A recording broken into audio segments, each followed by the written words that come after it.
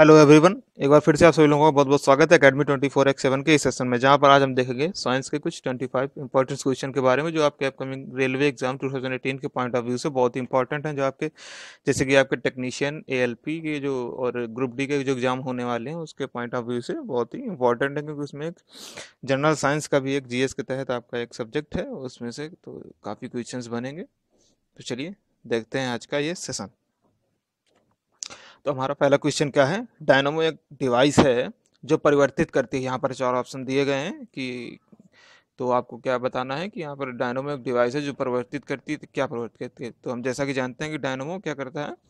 Mechanical energy को electronic विद्युत ऊर्जा में इलेक्ट्रॉनिक एनर्जी में चेंज करता है। यानी कि यहाँ पर कौन सा ऑप्शन सही होगा? आपका ऑप्शन सी सही होगा, यांत्रिक ऊर्जा को विद्युत ऊर्जा में बदल देता है। अगर डायनमो को हम और किसी अन्य नाम से जानते हैं तो डायनमो को हम जनरेटर भी कहते हैं और ये किस रूल के अनुसार काम करता है? ये फेराडे के रूल्स के अनुसार काम करता है। तो हम देखते हैं हमारा नेक्स्ट क्वेश्चन क्या है? नेक्स्ट क्वेश्चन है, आइंस्टीन को नोबेल पुरस्कार से सम्मानित किया गया। किस चीज़ के लिए आइंस्टीन को नोबेल पुरस्कार दिया गया था? तो आइंस्टीन को किसके लिए दिया गया था? प्रकाश वैद्युत प्रभाव के लिए इनको नोबेल पुरस्कार दिया गया था। यानी आपका ऑप्शन ए सही होगा प्रकाश वैद्युत प्रभाव के लिए। चलिए देखते हैं हमारा नेक्स्ट क्वेश्चन क्या है? मिर्च के तीखेपन का कारण है। मिर्च के तीखेपन का क्या कारण है? चार ऑप्शन दिए गए ए बी सी डी यहाँ पर। तो आप बताएँ, बताएँगे यहाँ पर मिर्च का क्या है? कैप्सेसिन कैप्सेसिन के कारण मिर्च के मिर्च का जो तीखापन होता है, वो किस कारण होता है? कैप्सिन के यानी ऑप्शन बी सही है यहाँ पर। और अगर बात करें यहाँ पर एंथोसाइनिन एंथोसाइनिन जो लिखा हुआ है ऑप्शन डी तो उसको क्या है? एंथोसाइनिन कारण प्याज का रंग लाल होता है और कैरोटीन की उपस्थिति के कारण गाय का दूध जो है पीला होता है। कैरोटीन की उपस्थिति के कारण गाय का दूध पीला होता है और लाइकोपिन लाइकोपिन यानी टमाटर को लाल करने के लिए एक पिगमेंट पिगमेंट है, यानी हरे टमाटर को लाल जब परिवर्तित होता है तो किस, कौन सा पिगमेंट होता है?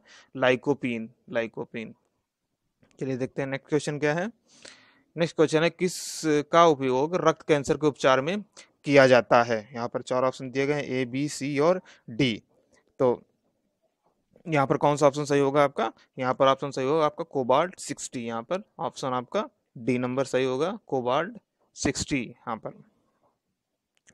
और अगर बात करें सोडियम 24 की रक्त व्यतिक्रम यानी ब्लड में अगर कोई खराबी आती है तो उसके लिए सोडियम 24 का उपयोग किया जाता है और फास्फोरस 32 का क्या है, ट्यूमर ट्यूमर को पहचानने के लिए फास्फोर 32 का प्रयोग किया जाता है और आयोडीन 131 जैसे कि आप जानते हैं कि आयोडीन किसमें घेंगे के रोग के उपचार के लिए इसका प्रयोग किया जाता है। तो यहाँ पर कौन सा ऑप्शन आपका सही होगा? यहाँ पर ऑप्शन आपका डी सही होगा, कोबाल्ट सिक्सटी नेक्स्ट क्वेश्चन क्या है?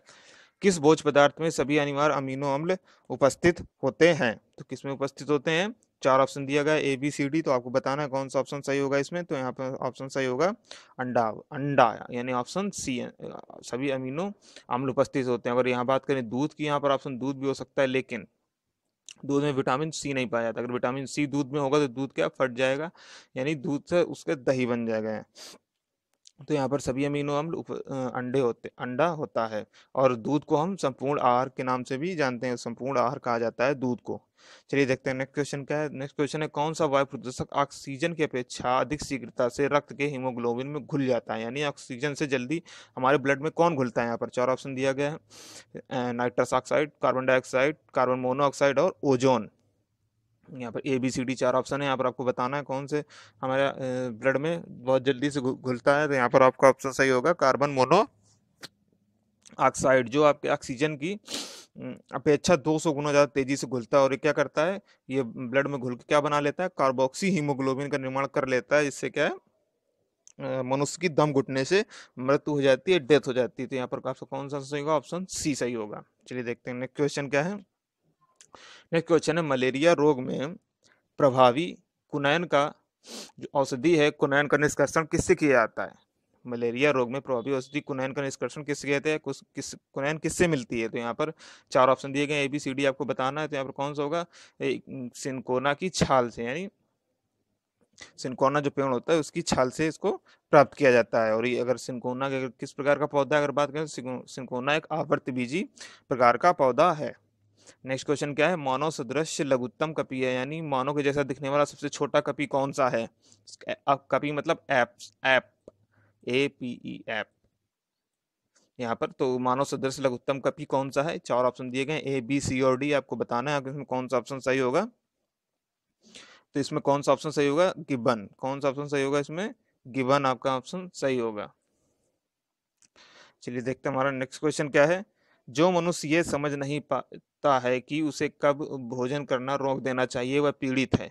यानी कि अगर कोई मनुष्य खाना खा रहा है और खाता रहे खाता रहे उसको पता ही ना चले कि उसे कब उसका पेट कब भर गया और उसे कब भोजन करना बंद कर देना चाहिए तो इसमें कौन सा ऑप्शन आपका सही होगा? चार ऑप्शन दिए गए आपको बताना है तो यहाँ पर कौन सा ऑप्शन सही होगा आपका? ए बुलीमिया से पीड़ित है। कि, किस रोग से पीड़ित है? बुलीमिया से यानी बहुत ही खा बहुत ही ज़्यादा खाने की बीमारी से पीड़ित है। चलिए देखते हैं हमारा नेक्स्ट क्वेश्चन क्या है? नेक्स्ट क्वेश्चन है यदि कोई मानवीय रोग विश्व के वृहद क्षेत्र में फैलता है तो उसे क्या कहा जाता है? उसे क्या कहा जाता है? चार ऑप्शन दिए गए हैं पेंडेमिक एपिडेमिक एंडेमिक और एपिजेटिक तो कौन सा ऑप्शन सही होगा यहाँ पर? यहाँ पर ऑप्शन सही होगा, यानी पेंडेमिक पेंडेमिक यहाँ पे जब विश्व के वृहद क्षेत्र में फैल जाता है, यानी एक देश से दूसरे देशों, कई देशों में भी ये रोग फैल जाता है, उसको क्या कहते हैं? पेंडेमिक कहते हैं। और जो एक देश के ही अंदर फैलता है उसको क्या कहते हैं? उसको कहते हैं एपिडेमिक जो एक देश के अंदर ही फैलता है, उसको क्या कहते हैं? एपिडेमिक लेकिन यहाँ पर ऑप्शन क्या कह रहा है आपका? क्वेश्चन विश्व के क्षेत्र में तो कौन सा ऑप्शन होगा? यहाँ पर ए पेंडेमिक चलिए देखते हैं हमारा नेक्स्ट क्वेश्चन क्या है? नेक्स्ट क्वेश्चन है, किसी व्यक्ति का रक्तचाप यानी कि BP forty M H H G है तो इस उल्लेख में एच जी से तात्पर्य है। मतलब यहाँ पर आपसे पूछ रहा है कि यहाँ पर एच जी किस लिए प्रयोग किया एच जी क्या है यहाँ पर? इसको बताना है आपको। चार ऑप्शन दिए गए हैं ए बी सी डी यहाँ पर। तो आपको बताना है एच जी क्या है। यानी हम बी जब बीपी किसी का चेक करते हैं तो किसमें कहते हैं? पारे के दाब के बराबर उसको चेक किया जाता है पारे के बराबर दाब से उसको मानक उसका लिया जाता है। तो एच जी पारा यानी यहाँ पर मरकरी यानी यहाँ पर ऑप्शन आपका कौन सा सही होगा? बी सही होगा। चलिए देखते हैं। और अगर आपके सामान्य मनुष्य के रक्तचाप की बात करें, बीपी कितना होता है तो उसमें one twenty by, one twenty by eighty होता है। एक सामान्य मनुष्य का रक्तचाप या बीपी कितना होता है, वन ट्वेंटी बाई एट्टी पारे के रक्त, दाब के बराबर। चलिए देखते हैं नेक्स्ट क्वेश्चन क्या next question C F L का पूर्ण रूप क्या है? जो हम घर में use C F L use करते हैं तो उसका पूर्ण रूप क्या है? यानी उसका फुल फॉर्म क्या है? पूरा नाम क्या है? तो यहाँ पर चार ऑप्शन दिए गए ए बी सी डी तो यहाँ पर आपको बताना है। तो यहाँ पर कौन सा ऑप्शन सही होगा? Compact fluorescent lamp compact fluorescent option A सही होगा। कॉम्पैक्ट फ्लोरोसेंट लैंप चलिए देखते हैं नेक्स्ट क्वेश्चन क्या है? नेक्स्ट क्वेश्चन है ट्रांजिस्टर बनाने के लिए सर्वाधिक प्रयुक्त पदार्थ है। ट्रांजिस्टर बनाने के लिए सर्वाधिक प्रयुक्त पदार्थ है। तो कौन सा प्रयुक्त पदार्थ है? कौन सा ऑप्शन सही होगा आपका यहाँ पर? यहाँ पर आपका ऑप्शन सही होगा सिलिकॉन ऑप्शन नंबर बी आपका सही होगा सिलिकॉन सिलिकॉन क्या है? सिलिकॉन एक अर्धचालक होता है। और अर्धचालक में क्या है कि इलेक्ट्रॉन किस प्रकार से संचालन करते हैं? तो इसमें अर्धचालकों में इलेक्ट्रॉन होल के आधार पर आवेशों का संचालन होता है। इसमें जो आवेश संचालित होता है उसमें होल के आधार पर आवेशों का संचालन होता है। चलिए देखते हैं नेक्स्ट क्वेश्चन क्या है? नेक्स्ट क्वेश्चन है कृत्रिम उपग्रह में विद्युत ऊर्जा का स्रोत क्या होता है? यानी कृत्रिम उपग्रह को ऊर्जा कहाँ से मिलती है? यानी कि जब कोई सेटेलाइट अंतरिक्ष में भेजा जाता है तो उसको जो ऊर्जा लेता है अपने काम करने के लिए कोई कैसे काम करता है? तो उसके लिए एनर्जी चाहिए होगी कैसे काम करेगा? तो, तो, तो उसको एनर्जी कहाँ से मिलती है यहाँ पर? देखिए, आपको चार ऑप्शन दिए गए हैं। तो यहाँ पर कैसे? सौर सेल से, यानी सूर्य की सूर्य से ऊर्जा लेता है, सौर सेल से। तो प्रकाश के माध्यम से विद्युत ऊर्जा का उत्पादन कर लेता है। ये देखते हैं नेक्स्ट क्वेश्चन क्या कैथ लैब का संबंध है। एक ये जो इसमें ये चार ऑप्शन दिए गए यहाँ पर, ये चार रोग हैं या चार प्रकार की मेडिकल से जुड़ी हुई आपकी ऑप्शंस हैं तो यहाँ पर देखना है क्या कैथ लैब का संबंध है। तो किससे संबंध है? चार ऑप्शन है ए बी सी डी तो यहाँ पर कौन सा ऑप्शन होगा? कार्डियोलॉजी। कार्डियोलॉजी यानी कि हृदय से संबंधित जो बीमारियाँ होती हैं, वो कहाँ से चेकअप की जाती है? उनका इलाज कहाँ जाता है? कार्डियो में। तो कैथ लैब का किससे संबंध है? हृदय संबंधित बीमारियों से, यानी कार्डियोलॉजी कार्डियोलॉजी से। चलिए देखते हैं नेक्स्ट क्वेश्चन क्या है। ग्रीन मफलर संबंधित है। ग्रीन मफलर किससे संबंधित होता है? यहाँ पर चार ऑप्शन दिए गए हैं, मृदा प्रदूषण से, वायु प्रदूषण से, ध्वनि प्रदूषण से और जल प्रदूषण से। तो ग्रीन मफलर क्या है आपको यहाँ मफलर सुन के यहाँ समझ में आ रहा होगा कि मफलर मतलब जिसको हम जब सर्दियों में या विंटर सीज़न में क्या इसको हम अपने बांधते हैं कानों में जिससे कि हम अपनी सर्दी से बच सके। तो मफलर वही है, ग्रीन मफलर यानी अब हरी मफलर यानी क्या है? तो यहाँ पर चार ऑप्शन है तो आप इससे पता लगा सकते हैं। किसकी बात हो रही है? यानी यहाँ पर नेचर यानी प्रकृति की बात हो रही है तो यहाँ पर किसकी बात करेंगे? ध्वनि प्रदूषण से। अब यहाँ पर मफलर है ना मफलर को कानों बांधते हैं तो आप इसको ऐसे देख सकते हैं। कानों में तो क्या ध्वनि प्रदूषण से इसको रिलेट कर सकते हैं अब इसको समझते हैं कैसे कि इसमें ध्वनि प्रदूषण की तीव्रता को कम करने के लिए कुछ कुछ दूरी पर वृक्ष लगाकर इसकी तीव्रता को कम किया जाता है। इसमें क्या है कि इस, इसमें ध्वनि प्रदूषण की तीव्रता को कुछ कुछ दूरियों पर वृक्ष लगाकर कम किया जाता है। इसमें यही है ग्रीन मफलर का संबंध तो किससे ध्वनि प्रदूषण से। आपका ऑप्शन नंबर सी सही होगा। आगे देखते हैं कौन सा वायु प्रदूषण का एक जैव सूचक है, यानी जहाँ पर वायु प्रदूषण ज़्यादा होगा कौन कौन सा ऐसा है जैव सूचक है जो बता देगा यहाँ पर वायु प्रदूषण ज़्यादा है? तो चार ऑप्शन दिए गए ए बी सी डी फंड, लाइकेन, मनी प्लांट और अमरबेल तो आपको बताना है कौन सा ऑप्शन सही होगा। यहाँ पर ऑप्शन आपका बी सही होगा, लाइकेन। लाइकेन क्या है? जहाँ पर वायु प्रदूषण जाता है वो वहाँ पर बता देता है। लाइकेन क्या है? ये कवक और सवाल दोनों से मिलकर बनता है। यानी इसमें कवक और यानी फंजाई और सवाल यानी एलगी दोनों के लक्षण इसमें पाए जाते हैं। जहाँ पर प्रदूषण होता है और जहाँ पर ज़्यादा प्रदूषण होता है ना, वहाँ पर लाइकेन नहीं उगते हैं। तो क्या है? लाइकेन एक जैव प्रदूषण का जैव सूचक है। चलिए देखते हैं नेक्स्ट क्वेश्चन क्या है? बच्चों में प्रोटीन की न्यूनता कारण जो रोग उत्पन्न होता है, वह है। बच्चों बच्चों में प्रोटीन की न्यूनता यानी कमी के कारण जो रोग होता है या जो रोग उत्पन्न होता है, उसको क्या कहते हैं? चार option, marasmus, pellagra, beriberi और रिकेट्स।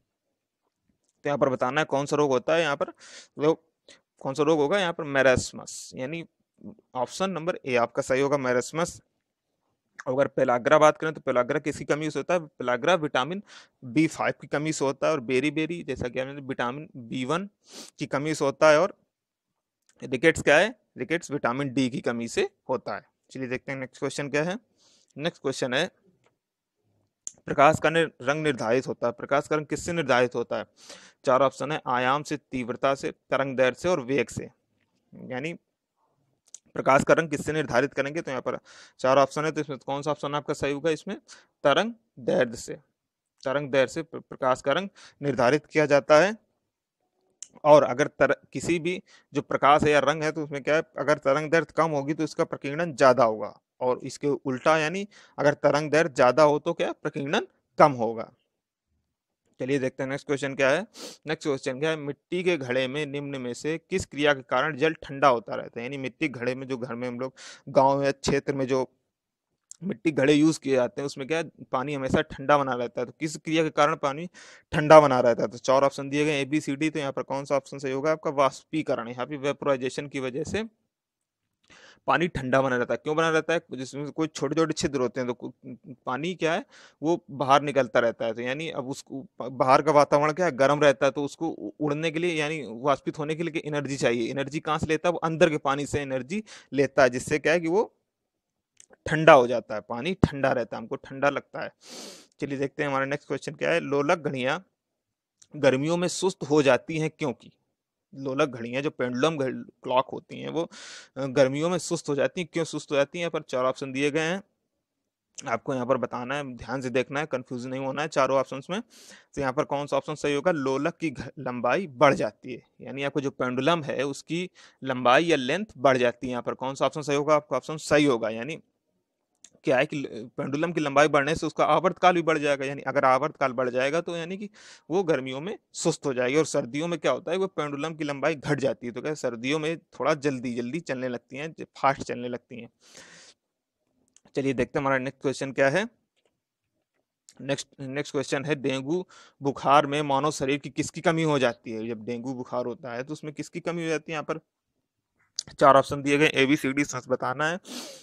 तो कौन, क्या किसकी कमी हो जाती है यहाँ पर? ऑप्शन ए प्लेटलेट्स की कमी हो जाती है अब, यानी अब डेंगू किससे होता है? डेंगू एक वायरस के कारण होता है, जो कि एक कैसे, जो एडीज एडीज इजिप्टी मच्छर होता है, उसके, उस थ्रू फैलता है मनुष्य के शरीर में। जिसमें क्या होता है? तेज बुखार आता है, जोड़ों में दर्द होता है, सिर, आँखों में भी दर्द होता है।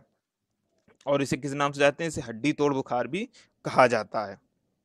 चलिए देखते हैं हमारा नेक्स्ट क्वेश्चन क्या है? नेक्स्ट क्वेश्चन क्या है? इको मार्क उन भारतीय उत्पादों को दिया जाता है, जो यानी इको मार्क जो दिया जाता है, उन किस इंडियन प्रोडक्ट को दिया जाता है, जो इसमें से चार ऑप्शन दिए गए हैं ए बी सी डी इसमें बताना है किसके लिए दिया जाता है तो जो पर्यावरण के के प्रति मैत्रीपूर्ण, जो पर्यावरण इको फ्रेंडली हो, उनके लिए इको मार्क दिया जाता है यहाँ पर। कौन सा ऑप्शन सही होगा? आपका ऑप्शन सी सही होगा। यह certificate bureau of Indian standard 1991 से दिया जा रहा है। ये certificate bureau of Indian standard द्वारा 1991 से दिया जा रहा है। नेक्स्ट क्वेश्चन क्या है? एमआरआई क्या है? तो यहाँ पर आपके चार ऑप्शन दिए गए, फुल फॉर्म बताना है यहाँ पर एमआरआई का फुल फॉर्म बेसिकली यहाँ पर क्या होता है, यहाँ पर बताना है तो चार ऑप्शन दिए गए यहाँ पर। तो यहाँ पर कौन सा ऑप्शन आपका सही होगा? इसमें आपका ऑप्शन सही होगा मैग्नेटिक रेजोनेंस इमेजिंग। तो कौन सा सही होगा? यहाँ पर ऑप्शन आपका सी सही होगा मैग्नेटिक रेजोनेंस इमेजिंग। इसमें क्या होता है कि इसमें रोगों के कारणों की सूक्ष्म जाँच की जाती है। इन्हें देखते हैं नेक्स्ट क्वेश्चन क्या है? नेक्स्ट क्वेश्चन है, निम्नलिखित में से कौन कौन जल को जीवाणु मुक्त करने में प्रयुक्त होता है? यानी कौन सा ऐसा तत्व प्रयोग, ये जो चार ऑप्शन दिए गए, इनमें से कौन ऐसा प्रयोग होता है जो जल को बैक्टीरिया लेस या बैक्टीरिया फ्री बनाता है? इसमें किसका प्रयोग करके हम पानी को शुद्ध बना सकते हैं? तो इसमें क्या चार ऑप्शन दिए गए ओजोर क्लोरीन डाइऑक्साइड क्लोरेमिन और उपयुक्त सभी। इसमें से तो आपको बताना है कौन सा सही होगा। तो इसमें आपके तीनों ऑप्शन सही हो गए। यानी आपका ऑप्शन कौन सा सही होगा? उपयुक्त सभी। यहाँ पर अभी आपके सभी ऑप्शन सही होंगे।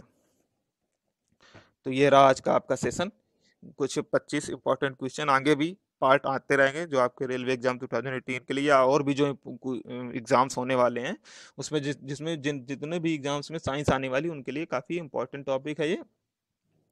तो अगर आपको ये वीडियो अच्छा लगा हो तो ज़रूर से इसको लाइक करें। ज़्यादा से ज़्यादा इसको शेयर करें। अगर आपको पसंद नहीं है तो ज़रूर से डिसलाइक कर सकते हैं। अगर आपको कुछ पूछना है तो हमारे कमेंट बॉक्स में कमेंट करके बता सकते हैं। हमारे चैनल को सब्सक्राइब करें और डेली क्वेश्चन अपडेट के लिए या किसी और अपडेट के लिए हमारे फेसबुक पेज पर भी जुड़ सकते हैं तो देखने के लिए धन्यवाद। मिलते हैं नेक्स्ट वीडियो में।